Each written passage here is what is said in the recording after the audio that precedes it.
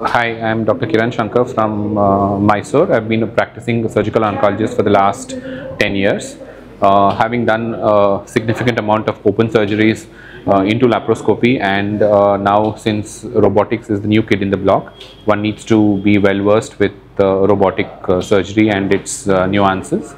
So Dr. Mishra provided us a good guide uh, into the field of robotic surgery, be it hands-on experience, be it solving your doubts and uh, getting to know and understanding what is the console, what is a patient cart and the advantages, the disadvantages of robotic surgery. It is all done. One-stop shop is the World Laparoscopy Hospital the support system and the support staff here are extremely helpful they would go probably out of the way to help you out and get you to know the basics and a little more than basics of uh, robotic uh, surgery. So i guess this is your answer to a lot of questions when it comes to minimally invasive surgery in india. Thank you so much